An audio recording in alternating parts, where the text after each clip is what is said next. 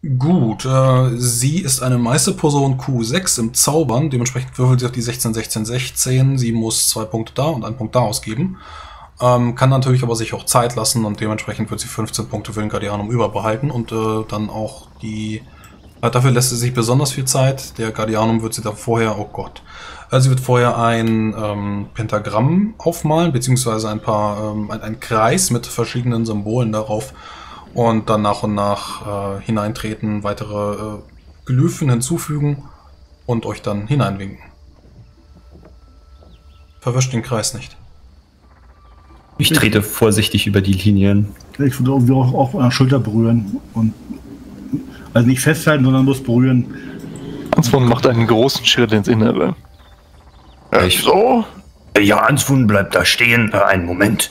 Ja, ich fasse einmal äh, die Magistra, ähm, ich weiß nicht, irgendwie so am Oberschenkel an, einmal Answun am rechten oder linken ja, Unterschenkel und ähm, stelle dann quasi die Verbindung her. Ich würde Sulamin äh, galantvoll den Arm reichen. Mhm.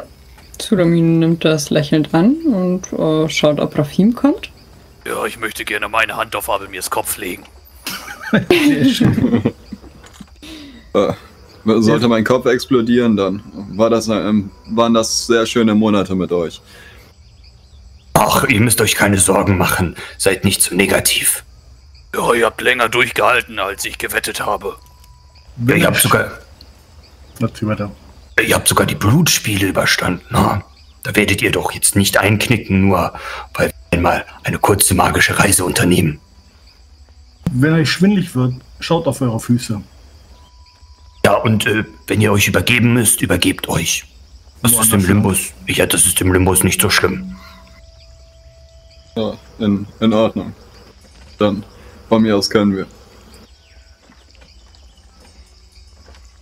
Und äh, euer, ähm, euer äh, Diener nicht mit? Wolltet ihr ihn mitnehmen, Diamantes? TK. Tekala, der hat sich schon wieder an meiner Kajüte verkrochen. Nein, den wollte ich eigentlich nicht mitnehmen, wenn es gegen Dämonen geht. Ah, ich Er verstehe. Schließlich immer noch ein Junge. Nun, dann denke ich, können wir loslegen. Okay, möchte jemand einen Schicksalspunkt für ihre Probe ausgeben? Denn 18, 19 sind nicht so gut. Dass wir uns darauf jetzt verständigt haben. Answon hat keinen Schicksalspunkt, ja? Nein. Gut. Oh, ich habe keinen. Noch Jalan, der kommt eh noch nicht mit. Ja, Ja, dann hat, ja, dann hat auch keinen. Achso. Und selbst wenn, würde er ihn für dich dreckigen Magier nicht ausgeben. Und ich glaube, ich brauche meinen noch. Alles gut, der werde Gut, Rafim, der Schicksalspunkt. Für alles oder nur eine Sache? Äh, ja, ist ja richtig scheiße. Komm, alles, die oder? einfach nochmal neu Ja, würfeln. deswegen fragte ich. Ja, Das ist bitte. besser. Gut, dann taucht ihr ein in den Limbus. Ein W6 bitte. Von einem oder von allen? äh, von einen bitte. Graue Schleier, die euch ergreifen. 5 minus 3, alles klar. Dann bitte 2W20. Und ihr steht im mysteriösen, kalten Nichtraum. Der Ort, der für Sterbliche verboten ist. Das Tor. In den Nichtraum öffnet sich auf unzählige Möglichkeiten und zahllose Gefahren, die sich euch ergießen. 24. Answon scheint etwas sagen zu wollen. Oder laut zu lachen. Ist nicht ganz auszumachen, aber da es im Limbus keinen Ton gibt, äh, ist das leider etwas ineffektiv. Ihr rast mit einer gewaltigen Geschwindigkeit, die keine ist, äh, vorbei in eine, in eine Richtung, die ihr nicht kennt. Und plötzlich könnt ihr sehen, wie eine kleine, eine kleine Schmuckschatulle an euch vorbeitreibt. Sie- Kenne ich diese? Äh, nein. Okay. Ist ein Ja. großer Rabe drauf. Diamantes öffnet noch den Mund, um was zu sagen, kurz bevor sie verschwinden. Und so fällt seine Zigarre aus. Und das Letzte, was äh, äh, von ihnen da bleibt, ist die glühende Zigarre, die über das Deck rollt. Ich bin äh, neugierig. Ich würde gerne einen Odem auf die Schmuckschatulle wirken. Ja. Tatsächlich nur auf die Schmuckschatulle, dass ich nicht dem Teklador-Effekt ähm, anheimfalle, weil ja hier alles magisch ist und das Boltax auch durchaus bewusst ist. ja. Ähm, Minus 7. alles klar. Ich würde, sie Ähm, gern, ich würde sie gern fangen, aber zwischen meiner Waffe und meinen Kameraden habe ich keine Hände frei. sie ist nicht magisch.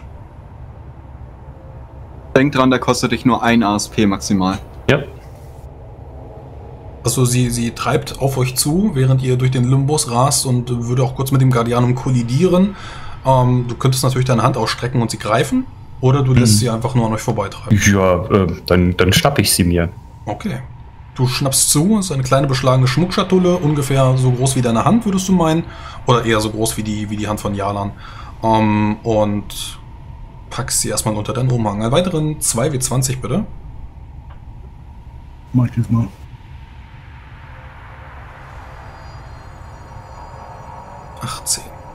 Oh, ich habe es gerade gelesen. Ja, äh, während ihr weiter in Richtung der Stadt Eders treibt, 30, 40 Meilen, irgendwie sowas, könnt ihr noch erkennen, wie ihr die Seele von einem Toten, von einer Toten erkennt, die an euch vorbei über das Nirgendmeer treibt.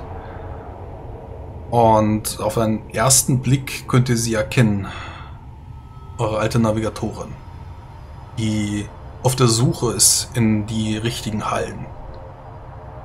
Ein Schwaden, ein Windstoß.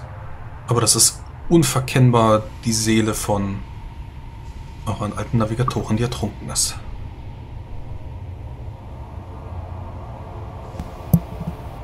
Ich äh, würde auf sie deuten, ähm, natürlich nichts sagen und die anderen äh, aufmerksam machen. Ist, ist das nicht Avi Aviander? Sie flüstert Falkenflug. Können wir sie verstehen? Ich dachte, im Limbus gibt's keinen ja, Ton. genau. Im, Können im Limbus gibt es nämlich keine Geräusche. Also deshalb habe ich auch nichts gesagt, sondern einfach nur auf sie gedeutet. Ja, das ist eher. Also, ihr habt Abelmirs Mund gesehen, aber seine Stimme war eher in eurem Kopf. Und auch dieses Falkenflug war gehaucht in eurem Kopf. Ah, okay. Es gibt Ja, keine gut. Luft. Damit kann ich mich anfreunden. Ja, dann ähm, sende ich ähm, Aviander. Ähm, Hallo Aviander, es freut mich, äh, euch noch einmal zu sehen. Ich hoffe, ihr findet bald. Hilf mir. Natürlich. Ähm, wenn ich ihr irgendwie helfen kann, dann würde ich das an dieser Stelle tun. Aber mir fällt tatsächlich. Ja, also sie, sie, streckt, sie streckt ihre Hand äh, verzweifelt nach dir aus. Ähm, ja, wir sind aber im Guardianum, das heißt, sie kann hier sowieso nicht rein. Genau, du müsstest rausgreifen. Das kann er auch nicht, denn sein Name ist vermutlich kürzer als drei Meter. Ja, Achso, aber er geht, er geht ja nicht auf ihn, stimmt ja. Äh, helft ihr. Ich ähm, würde den anderen ähm, das vorschlagen. Äh, Warte, wie? wir, wir müssen ihr helfen. Also, wie schlägst du das vor? Mit äh, Geisteskraft offensichtlich, weil wir offensichtlich uns mental unterhalten. Ja, Mindestens. viel Zeit habt ihr nicht mehr, schon schwer. Okay, weil dann drückt, dann drückt Ansun dir nämlich seine Axt in die, in die Hände und stürzt sich auf die Frau. Das heißt, du wirst den Gallianum verlassen? Äh, ich- ja. Es war ein sehr, also ich denke, bei ihm kommt halt nur an, dass Vortex irgendetwas mit, der, mit dem Ge- Geistwesen hat, der für, für Ansun, der kennt die Navigatorin ja nicht Initiative. wirklich, wo dich nur als Frau liest. Initiative. Äh, okay, von von Initiative? Anzon, noch, ja, noch von allen anderen. Jo. 13. Uh. Also, dir wird. Äh, Also er stürzt dich, er große dich irgendwie von der Gruppe ab Ja. und, und stößt du mit, mit ausgebreiteten Armen auf sie zu, im Sinne von, er will sie halt Ähm, packen, mein Ini, umarmen, mein. Ini-Skript funktioniert nicht. Ja, ähm, ich werfe W6. jetzt genau ein W6 ein. Ähm, Verständnisfrage, können wir uns loslassen? Weil wir haben uns ja erst alle berührt. Oder Also, ihr solltet mit ganze einer Zeit Hand. Ihr solltet mit einer Hand an ihr bleiben. Ja. Oder an den Das hat mir keiner gesagt. Genau. Wurde nicht, wurde nicht kommuniziert. Das heißt, ihr könnt erkennen, mit einer Initiative von 13 ähm, drückt ähm, er Boltax äh, seine äh, Axt in die Hand und würde sich dann gerne abstoßen. Alle anderen können vorziehen. Ist die nicht aus Eisen? Ist aus Eisen. Nicht Ja. ausweisen. Mit, mit schönem Sponsoring vom, vom Captain äh, mal beschlagen lassen. Zwei. Ja, ich Ja, zieh ja, natürlich vor, Freunde. Ja, ich möchte den Typ zusammenbrüllen. Halt die verdammte Scheiße an Boltax fest, lass die Frau in Ruhe.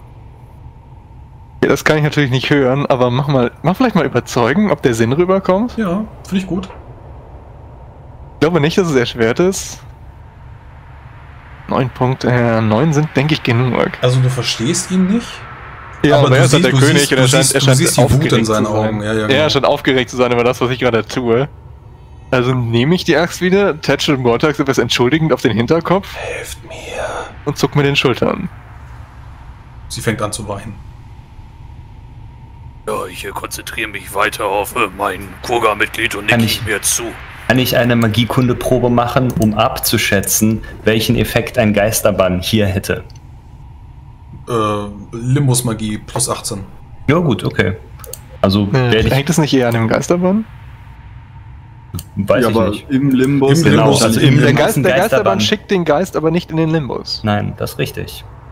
Deswegen Kann hat das ich eigentlich was- mit dem. Kann ich was würfeln, um zu wissen, ob es plausibel ist, dass Also- Avianda hier ist? Götter und Kulte? Also wie gesagt, 12. ich probiere jetzt einfach auch gern probieren. die, die erschwerte Magiekundeprobe. Ist unwahrscheinlich, dass ich die schaffe, aber man weiß ja nie. Ja, das. Ja.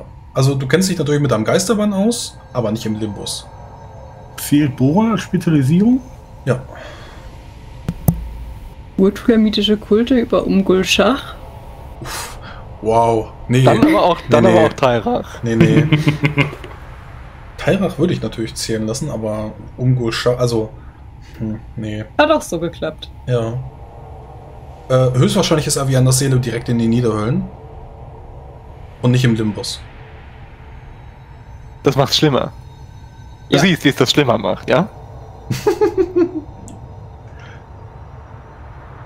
Ja, also wie gesagt, äh, schwebt und treibt an ihr vorbei. Sie fängt an zu weinen. Sie kannte den Nachnamen. Und äh, viel Zeit habt ihr nicht mehr. Drei, Achtet, achtet nicht auf sie. zwei, eins. Irgendwie, keine Ahnung, mitbekommen jemand? Ihr ploppt auf der Straße auf und fallt ein kleines Stück. Ähm, euch ist schlecht, euch schwindelt. Ihr bekommt alle ein W20. Ich muss gerade mal schauen, ne? Ein W20 Ausdauerschaden. Ähm, Äh, 1W20 15. minus ZF4-Stern. Genau, Genau. der wird aber durch den Guardianomi abgepuffert. Ja, trotzdem ein W20. Genau. Minus 15. Aber erstmal den W20. Kann ja sein, dass jemand die 20 wirft. 15. Alles, was Genau. nicht 16 oder höher ist, ist egal. Genau null. Krieg ich dafür einen Preis? 18, sehr gut. Dann bekommt 14. Tsunamin 3, 3 SPA, also 2 SP, und Abelmir bekommt 1 SP. Ihr schlagt hart auf der Straße auf, ähm, euch ist schlecht, der Sumpf neben euch blubbert, die Vögel schwirren, genauso wie die Insekten und zwei, drei Schmetterlinge, die vor euch auf und ab kreisen. Dann bricht der Guardianum vor euch zusammen und euch wird klar, ihr habt Aviander Falkenflug schon wieder im Stich gelassen. Haha, König! Ja, da hast du aber gut auf mich gehört. Oh, Können wir das nochmal machen? Ja, wir machen das nochmal, aber ähm, äh, gleich. Ähm, wir müssen jetzt erstmal die Dämonen verprügeln. Ja, haha. Und jetzt Wenn ich mal so groß bin wie du, werde ich auch König, sagt er zu Rafim. Ja, du musst ihm, rappelt sich keuchend äh, vom Boden auf. so geht's dir gut. Brauchst du eine helfende Hand? Deine Hand nehme ich immer gerne. Ähm, nein, ich, äh, es ist nicht so schlimm. Das, das war sie nicht. Das kann nicht sein. Ich, ich weiß nicht. Entweder Avis hat sie errettet und sie müsste längst in seinem Paradies sein, oder sie müsste längst in den Niederhöllen sein. Aber auf keinen Fall im Limbus. Ich, ich glaube, es war gut, dass wir nicht aus der Kuppel hinaus sind. Oder, Abelmir? Ich denke auch nicht, dass sie das war. Eine, ein Dämon vielleicht, der sich nun näher getarnt hat. schaut einmal, was ich aus dem Limbus gewischt habe. Und ich äh, zeige die Kiste und äh, die kleine Schatulle und würde sie dann auch ganz gerne mal öffnen. Wollte nicht. Volltags! Es ist nicht Also- magisch, keine Sorge. Alles Was, gut. Ist da das Messer drin? Nein, nein, es ist doch nicht meine. Dreht erst Nein, mal zwei ich- Schritte zurück. Voll ich meine, was das- aus dem das- Limbus aufmacht. Ich meine, dass das Iserun weggesperrt Ja, hat. bitte lass das Wolfsmesser. Nein, äh, du kannst es öffnen, du siehst wohl einige Papiere darin, äh, allesamt irgendwie gesiegelt. Rabenmund, Rabenmund, Rabenmund, Tapazien. Betreff Wildermark. Oh, es, scheinen sich ähm, irgendwelche Dokumente zu handeln. Ähm, ich behalte die besser mal. Ähm, Ist ja noch Papier, wie langweilig. ja, ja. Hat dir schon jemand gesagt, dass man nicht alles anfassen sollte, was man im Limbus oder sonst betrifft? Ich habe es auf magische Eigenschaften untersucht. Es war nicht magisch. Das heißt, man konnte es gefahrlos bergen. Ich bin doch kein Jalan. Und Ich bitte dich. Und woher weißt du das nicht? Ach, vergiss es. Hast, hast du Was tut zufällig das noch irgendwo Limbus? meine Zigarre aufgefangen? Ich äh, hab die wohl irgendwo verloren. Wohl in diesem schwarzen Nein. Raum. So, so behende bin ich leider nicht. Eure Geister sind sehr unruhig. Ich hoffe, dass ihr euch beim nächsten Mal etwas zusammenreißen könnt. Ich muss mich jetzt wirklich ausruhen. Äh, na gut, na gut. Ähm, ich werde jetzt, äh, Answun, komm mit. Ich äh, werde jetzt einen Geist rufen, der deine Waffe besser macht. Das hatten Lange- wir ja besprochen. Äh, wie lange glaubt ihr, dass ihr brauchen werdet für diese beiden Dämonen? Das Ja, Sagittarium. Zwei Den Geist, Stunden? um den Geist zu rufen. Nun, wenn wir uns danach Minuten. auch noch umsehen wollen, dann könnte es schon eine Weile dauern. Aber Denke- wir können euch holen, wenn die Gefahr gebannt ist. Seht ihr da drüben das kleine Farmhaus? Ich werde mich dort reinlegen und meditieren. Das tat mich gerade wirklich weh. Natürlich. Rechtliche Blutlehre. Und jetzt schon, jetzt schon fertig. Tja, Passt auf euch auf, Magistra. werde ich machen. Viel Erfolg. Und damit geht sie in Richtung des kleinen Farmhauses, öffnet einmal äh, quietschend die Tür, verschwindet dann im Inneren und macht die Tür wieder zu. König, wie hältst du es nur aus mit solchen Leuten? Naja, du, du kennst mich ja. Ich äh, bin sehr geduldig. Also ich muss sagen, Isarun hat sich nicht beschwert, als sie mich teleportiert hat. Naja, aber Isarun ist ja auch schon was ein anderes Kaliber, ne? Hier ist immer ein Hofmager. Warum macht Choksul das nicht? Ähm, naja, wenn ich das machen würde, dann würden wir zwar auch ankommen, aber wir hätten alle unsere Waffen nicht dabei, aus Eisen oder so. Hm? Hm. Naja, gut. Du willst doch die Waffe haben. Hm? Er schwingt die auch fröhlich von links nach rechts. Äh, Siehst du, siehst du. Also. Ja, und ähm, dann würde ich mich daran machen, einen elementaren Diener des Erzes zu rufen, der dann äh, die Waffe von unserem guten Answun verzaubern soll. Dazu einmal der elementare Diener. Und zwar würde ich mir den, ich würde mir Zeit lassen und fünfmal Kosten einsparen. Und ich würde die zehnfache Menge benutzen. Ich habe ja extra genug Erz mitgenommen. Für einen kleinen elementaren Diener reicht das auch. Und ansonsten dann für die Beherrschungsprobe ihm noch ein kleines Geschenk anbieten, wieder einen kleinen Edelstein. Aber ich mache jetzt erstmal den normalen Wurf. Gibt es noch irgendwelche Modifikationen aus dem Ort oder der Zeit? Äh, Zeit ist eine Sternkundeprobe, Ort nein. Okay, alles klar. Dann mache ich schnell erstmal eine Sternkundeprobe, dem vorausgehend. Kriegt er da eine Erleichterung, weil das so eine gute Position ist, um die Sterne zu beobachten? Ähm, nee, es geht ja eher um die Zeit. Ja. Also die Hm, wäre. Ich würde keine Erleichterung geben. Okay, ne, alles gut. Aber die Zeit wird ja random bestimmt. Die hängt Ja, von der gelungenen Sternkundeprobe ab. Das Ja, ist richtig, ja, ja. Aber es geht, es geht jetzt nur darum, gibt es eine Erschwernis oder eine Erleichterung. Gut. Dann schauen wir uns mal den. Fünfmal Kosten einsparen oder was hast Ja, genau. Ist, ist ja relativ einfach für mich aus meiner Profession. Weil du Geode bist. Genau, ist eine Erschwernis um 5 und dann, ja. Mit den Endlich anderen. nutzt das mal. Ja, natürlich. Eigentlich brauchst du gar nicht proben. Wow, Ja. was? Ich habe 2, 9 und 6 gewürfelt, also. Ja, ja, ich habe auch eher die Würfel kommentiert, nicht das, äh, nicht die Sternchen. Ja, und ähm, dann würde ich mir halt. Ich meine, ich werde sowieso nur mit einer 20 den äh, jetzigen Wurf verkacken. Das heißt, die übrig gebleib- äh, gebliebenen äh, ZFP-Stern lege ich dann rein, dass, ich weiß nicht, der Dienst mächtiger wird oder er mehr ASP ausgibt oder so. Das ist ja eigentlich vollkommen Wumpe. Es geht ja jetzt nur darum, den, äh, Und du hast Metalle vom Schiff genommen, ne? Genau, Was war das? Eisen? Oder? Eisennägel, sowas. Also, Dann formt sich aus Eisen ähm, eine kleine Figur, ähm, die ein bisschen größer wird und der Kristall, den du ihm äh, oder ihr äh, geopfert hast, wird als Kopf eingearbeitet. Ähm, der dann so zerspringt, dass du kleine Augen erkennen kannst und dann ähm, springt der Kristall ein weiteres Mal und kannst sowas wie einen kleinen Mund erkennen. Ich bin Rayona, hochgerätige Feldherrin des Kristalls. Wie Oh. kann ich dienen? Bayona, hochgerätige Feldherrin des Kristalls. Ich bin Boltax. Ich möchte dich bitten, mir einen Gefallen zu tun. Siehst du diesen großen Mann und seine Waffe? er möchte einen Dämon damit erschlagen. Kannst du die Waffe kraftvoll machen, sodass sie einen Dämon bezwingen kann? Ein Dämon. Ja. Kontrollprobe. Sie erleichtert, weil es dem, dem elementaren Grunde 19. wesensnahe Es ist? ist, ja, Ja, also die, ich kann sie nur mit einer 20 verkacken. Ja, also der, der so. Befehl ist auf alle Fälle nah, vor allem auch mit der Begründung Dämon. Und ähm, ja, was tut sie dann? Sie lädt die Waffe magisch auf? Äh, also ich hatte mir überlegt, dass sie eine Adamantium-Erzstruktur auf den auf die Waffe macht, also in der Variante Zauberstahl. Ja. Okay. Nehm ich ich wollte nur, ich wollte nur wissen, was du, was du damit so, so vorhast. Äh, Das ist natürlich dann ein Wunsch, der ihrem Element entspricht.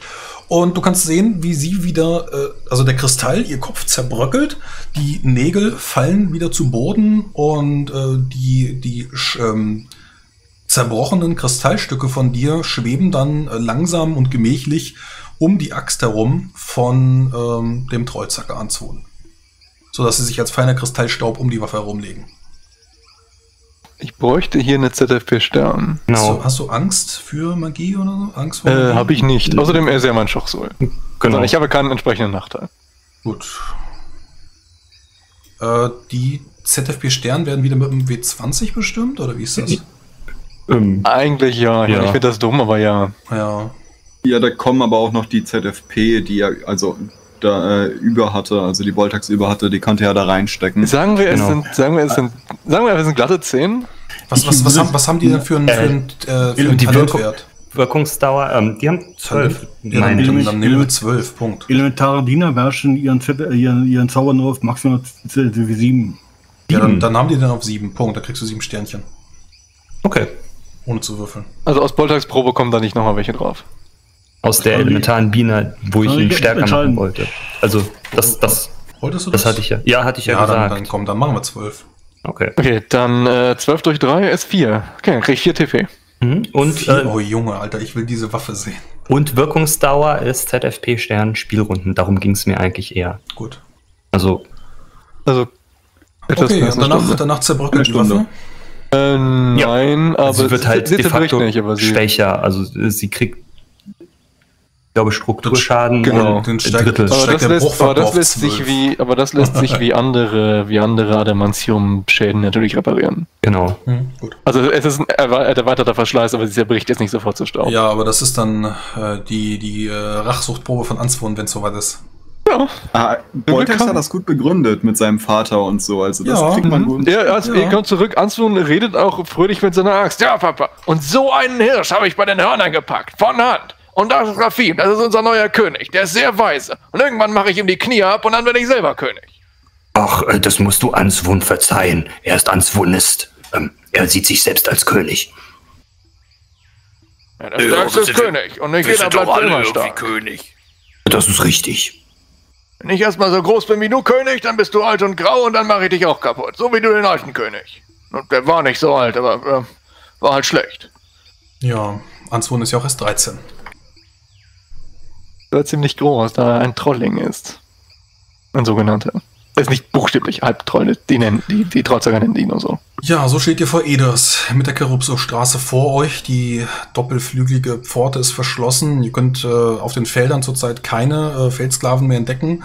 Ähm, aus dem Inneren könnt ihr allerdings ähm, einige Stimmen auf einem. Äh, es ist kein Brabaki, es ist wohl so eine Mohaha, so ein Mohaha-Dialekt würdet ihr meinen. Zumindest äh, Rafim und äh, Diamantes können das verstehen. Ähm, der, den ihr allerdings unglaublich schwer verstehen könnt. Wäre eine Probe plus 7. Und hinter ähm, dem Sitz des Magiergrafen könnt ihr leicht erhöht auf einem kleinen Berg äh, erkennen, wie dort das Observatorium der Niobara liegt. Ich kann mir einen Überblick verschaffen. Das Gebäude da sieht aus, als könnte ich dran hochklettern und von da aus auf die Palisade kommen. Schauen, wer da noch drin ist.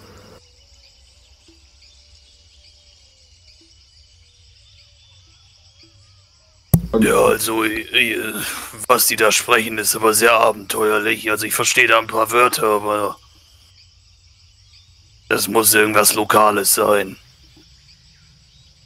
Und ich dachte schon, es liegt daran, dass ich erst ein paar Wörter kann, aber ihr versteht sie auch nicht besonders gut? Nein, Nicht nein, gar nicht. Ah, das könnte zu Problemen führen. Und Aber- wenn wir anklopfen, könnte außerdem die erste Person bereits der Kürzlinger sein. Können wir sie dann nicht einfach alle umhauen? Dann sind wir uns sicher. Nein, das können wir nicht. Äh, lasst mich doch mal zum Tor vorgehen. Vielleicht kann ich sie ja überzeugen, uns durchzulassen. Ja, so trittst du heran. Äh, Tor ist wie gesagt verschlossen. Oben auf der Palisade wirst du keinen erkennen können. Äh, müsstest gegenklopfen. Ja, Rafim, haut mal kräftig vors Tor. Ja, hallo, hallo. Ich brüll mal auf Moisch, so laut ich kann. Ja, anstatt dass irgendjemand oben auf den Toren erscheint, kannst du sehen, wie oder hören, wie ein Riegel beiseite geschoben wird und äh, ein kleiner Spalt öffnet sich. Blickt dir eine äh, Mohaha-Frau entgegen mit ihrer bronzenen Haut. Äh, hallo? Hallo. Barev Otana. Inchiek äh, Usum Eistek? Rafim, Sie schütteln mit dem Kopf. Zeige mal mit meinem Finger auf mich, Rafim. Ah, mh. Sie nickt. Äh, mehr Verhem. Sie zeigt mit dem Finger auf sich. Oh, Rafim winkt mal fröhlich. Ähm, Sie macht die Tor, das Tor ein bisschen weiter auf. Rafim äh, macht ein großes Gebäude, äh, zeigt mit seinem Finger so nach oben und versucht auf den Turm zu zeigen. Äh, böse. Sie nickt. Ähm, Duk Unek, äh, Haschwak? Böse. Sie nickt wieder. Haschwak. Rafim. Böse. Kaputt. Ähm, sie winkt mit dem Finger. Vesser Hetep. Jerkem.